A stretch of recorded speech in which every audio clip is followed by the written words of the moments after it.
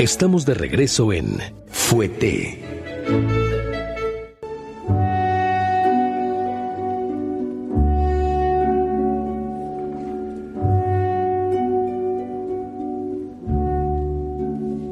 Ya estamos de vuelta en Fuete, estamos platicando de Monotones, una creación de Frederick Ashton inspirada en la música de Eric Satie. Estábamos hablando de Monotones 2. Según una crítica británica, lo vio en, su momento Arlene Kroch, la continuidad de las líneas de esta coreografía es, se podría traducir como la de un dibujante cuya pluma nunca se despega del papel. Y así vemos desarrollarse estos tres bailarines, ¿no? En sus movimientos nunca paran. Y en el, otro de los momentos que nos llevan ya a concluir eh, esta segunda sección, los tres bailarines se van acercando hacia un como este, un grupo muy apretado, así como un enjambre, y después se extienden y se toman de los hombros y cada quien tiene sus brazos en los hombros del otro, así van los tres, ella en medio, y van caminando lentamente ejecutando simultáneamente un rond de jambe, que es deslizar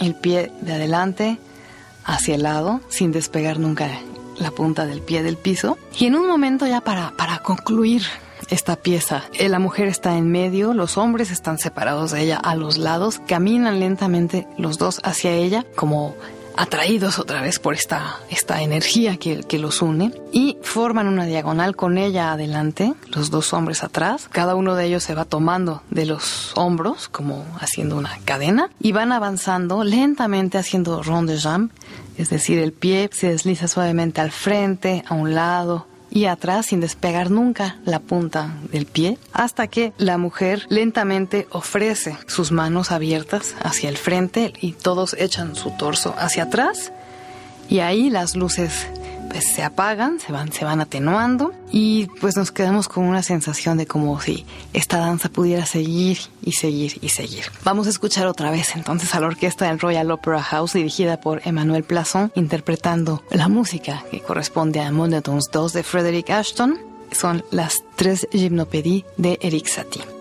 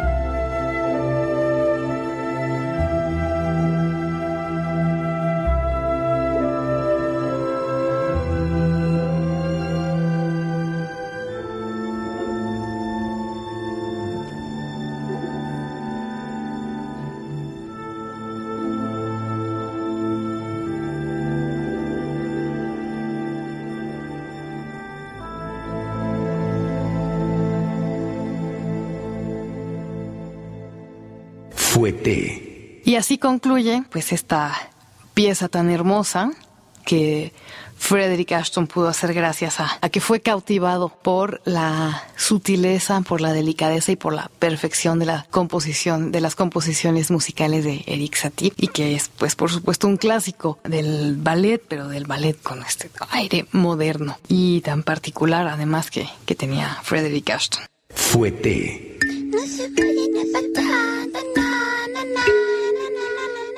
Bueno, pues hoy estamos eh, acompañados en cabina por dos jóvenes, Leica Mochan y Ana Rechman, del colectivo Pausa en Movimiento. Hace un año ya las tuvimos aquí con Erosional, Erosional y, y Cataclismo.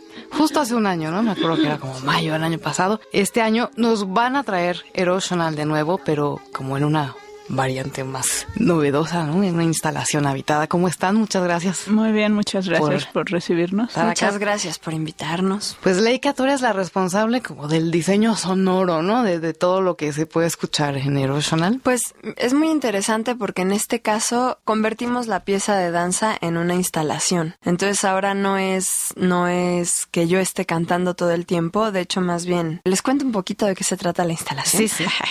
Mejor, porque si no es como sí. saltar al final sin haber leído la introducción. Ay, sí. No, este Erosion a la instalación habitada ahora es este, pues todo es a partir de la reflexión del agua, de la belleza del agua, de la necesidad que tenemos por el agua en este planeta, de la erosionabilidad del agua y el agua como agente erosionante, ¿no? Y pues sobre todo el agua en esta ciudad que pues desborda pues, uh, y está en una situación bastante delicada y crítica, grave. ¿no? sí. Y pues lo usamos todo el tiempo hasta para jalarle al baño pues, ¿no? O sea, así para todo, ¿no? Ahí está. Entonces, pues a partir de esa reflexión y también de la contemplación y como de la belleza y la sutileza del agua, surge la idea de hacer esto, que son muchos contenedores de agua con luces que a su vez uh -huh. hacen como espejos en las paredes del movimiento del agua, ¿no? Hay este una que es, bueno, un hielo goteando, entonces las ondas del agua se ven en la pared. Hay otros contenedores que están sobre unas bocinas, entonces reaccionan al sonido. Entonces no es propiamente que yo vaya, digo, yo he estado como en la búsqueda para lograr uh -huh. eso, pero en realidad no es que yo vaya a ir a cantar. Vamos a tener muchos músicos invitados, aparte de músicos de uh -huh. altísimo nivel. Hay otras, hay unas cadenas que está escurriendo agua jabonosa y entonces eso hace unas películas en la pared que están como, o sea, todo ah, es como sí. la reflexión del agua y el movimiento del agua y pues como darse el tiempo de contemplarla y de, sí. y de valorarla. No, pues, y de ¿no? hacerse consciente. ¿no? Que pues a, que ahí está, que es súper necesaria sí. y que pues nos la estamos acabando. Y, y Ana, tú eres matemática y cómo, cómo, pues yo soy matemática, sí. ¿Cómo, cómo entré? ¿Cómo entraste esto? Bueno, tu hermana Paula es como la, core la coreógrafa, bailarina, ¿no? Que tiene pues, toda esta entré, parte del cuerpo. entré Erosional hace dos años. Un día que Paula me dijo, es que yo necesito tener agua en el teatro. porque no puede ser que, que, haga toda esta pieza y que, y no, y que no haya agua. Uh -huh. Y entonces diseñé un poco lo que es la escenografía de la pieza de danza. Y en el proceso de diseño yo le decía a Paula, podríamos hacer esto y podríamos hacer esto y podríamos hacer esto. Claro que nunca lo hicimos y que ahora que lo hemos estado haciendo ha resultado bastante complicado, pero digamos, en ese proceso creo que fue cuando fue saliendo el, la idea de crear uh -huh. un espacio que te rodeara de agua en el que pudieras pues interactuar con los distintos estados del agua, observarlos. Utilizamos mucha luz para para poder uh -huh. apreciar cosas que no se aprecian a simple vista, ¿no? Entonces, pues de ahí salió y de ahí me metí y me he ido metiendo cada vez más y ahorita llevamos seis, como seis meses Trabajando. haciendo pruebas. En la profundidad. Eh, profundidad. En la profundidad del agua cotidiana. Bueno, ustedes acaban de estar en el mes de abril en el MUAC, ¿no? En, en la UNAM. Así y, es. Sí. De, de, lo que instalaron en el MUAC, todavía hay como una evolución a lo que van a Totalmente. poner en el Museo de la sí, Luz sí, ahora. Es muy distinto porque el, en el espacio MUAC, y... Sí, en el MUAC estábamos en el auditorio, entonces es un teatro, sí. finalmente es un espacio oscuro, negro, etcétera. Tuvimos que construir pantallas para que se vieran los reflejos y cosas sí. así. Y en el Museo de la Luz, pues es verdaderamente una sala de museo donde vamos a estar, ¿no? Entonces es, es todo lo contrario, es totalmente blanca. es este, mucho más adecuado. Es mucho más adecuado a lo que nosotros estábamos pensando, sí. Sí, ¿no? Pues algo como más, este, compartible, ¿no? No es como esta rigidez del auditorio si realmente quieren como hacer una conciencia. Claro. Es más fácil acercarse, ¿no? y también creo que el espacio se va a prestar mucho más a que la gente se quede pues el tiempo que deseen a ver las cosas, ¿no? O sea, en el Moxie hubo, pues hubo esta sensación de sentirte en un teatro, de que ibas a ver un espectáculo. A ver un espectáculo, sí. Y entonces como que eso cambiaba mucho la dinámica de lo que nosotros teníamos en mente. Ahora fue una experiencia padrísima, nos permitió probar muchas cosas, darnos cuenta de los errores, de las cosas buenas también, o sea,